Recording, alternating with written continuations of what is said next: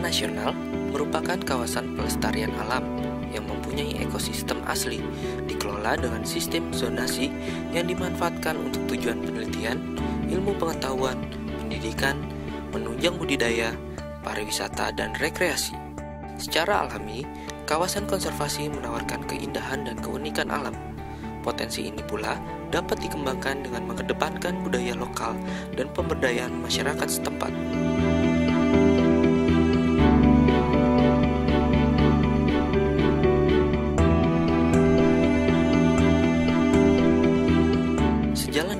Tersebut, Menteri Lingkungan Hidup dan Kehutanan Siti Nurbaya melakukan kunjungan kerja ke beberapa taman nasional yang ada di Jawa Timur. Taman Nasional Alas Purwo menjadi persinggahan pertama dalam kunjungannya pada Minggu 27 Maret 2016 lalu. Alas Purwo yang berada di Kabupaten Banyuwangi tersebut dikukuhkan menjadi Taman Nasional pada tahun 1992.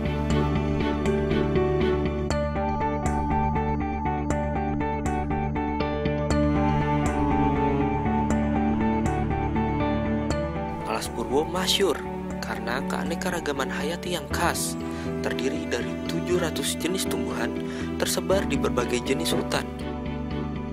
Dari hutan hujan dataran rendah, hutan pantai, hutan mangrove, hingga hutan tanaman.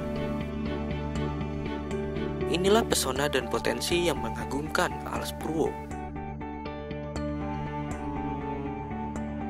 Sadengan Inilah padang rumput seluas kurang lebih 84 hektar.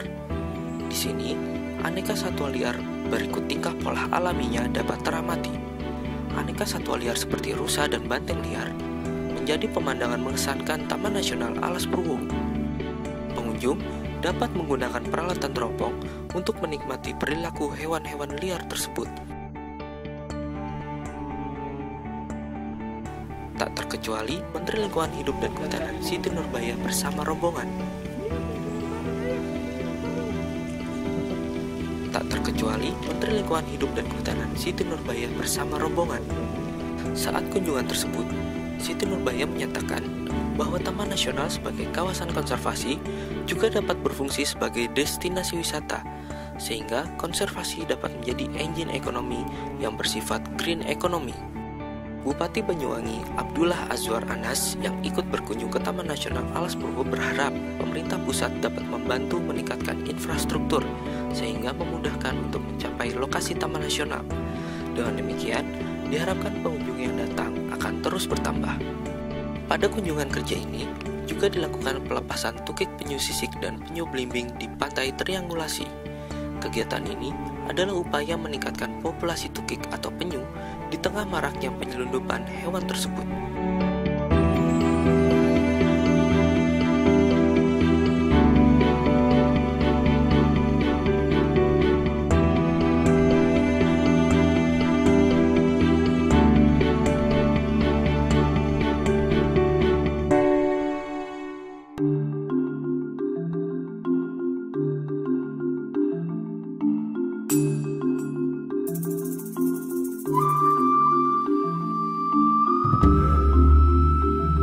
Afrika Van Java adalah sebutan yang disematkan kepada Taman Nasional Baluran. Letaknya di Kecamatan Banyu Putih, Kabupaten Situbondo, Jawa Timur. Vegetasi savana dengan nama bekol memiliki luas 300 hektar. Inilah yang membuat Baluran menyandang sebutan tersebut sekaligus membuatnya menjadi savana terluas di Indonesia.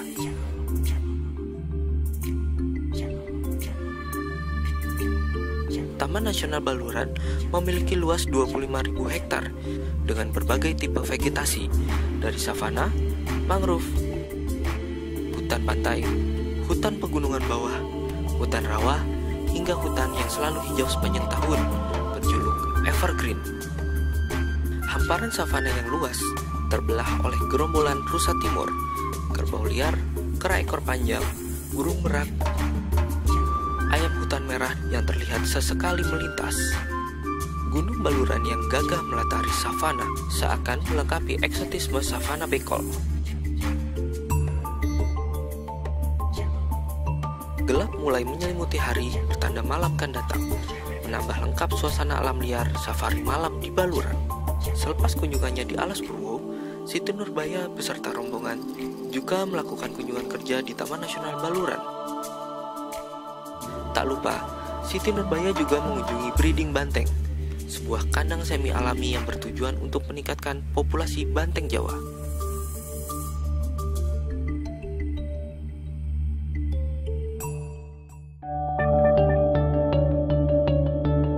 Kunjungan kerja berikutnya adalah ke Taman Nasional Bromo Tengger Semeru pada Senin 28 Maret 2016 lalu.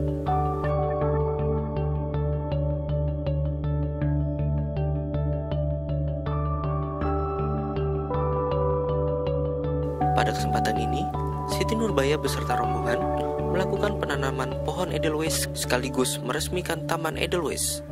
Kegiatan ini sebagai upaya menjaga kelestarian pohon yang hidup 2000 meter di atas permukaan laut tersebut.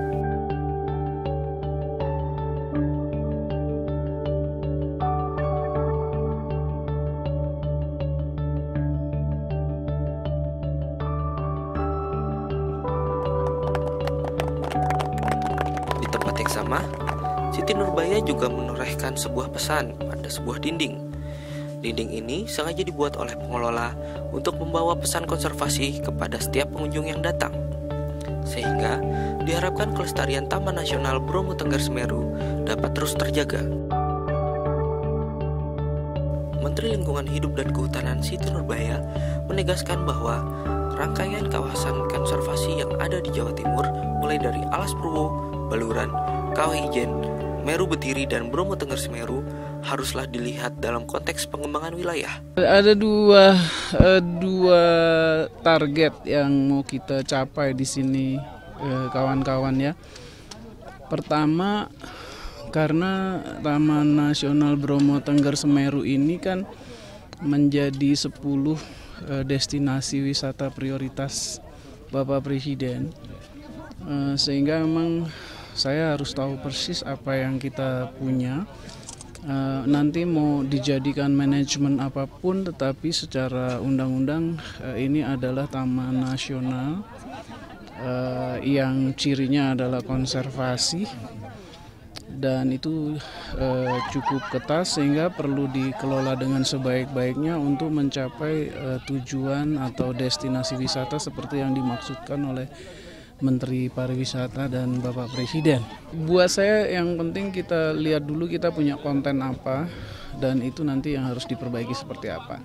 Nah itu yang pertama targetnya. Yang kedua kita memang sesuai arahan Bapak Presiden juga supaya konservasi dan ekonomi itu sejalan sehingga hmm, saya harus menyesuaikan arahan Bapak Presiden dalam prakteknya ini dengan pengembangan wilayah.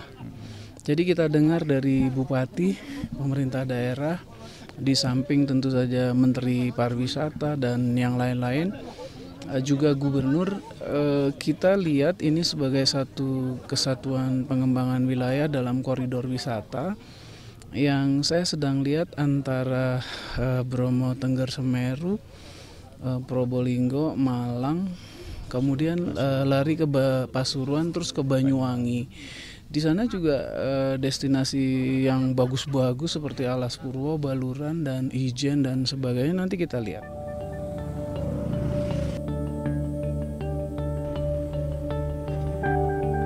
Biro Humas Kementerian Lingkungan Hidup dan Kehutanan melaporkan